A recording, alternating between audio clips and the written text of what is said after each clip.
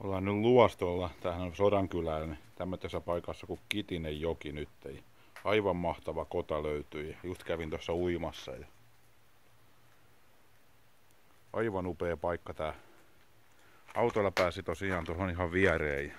Tuommoista hiekkatietä oli se jonkun kolmisen kilometriä suurin piirtein. Vesi on jonkun 7-18 ja tällainen paikka.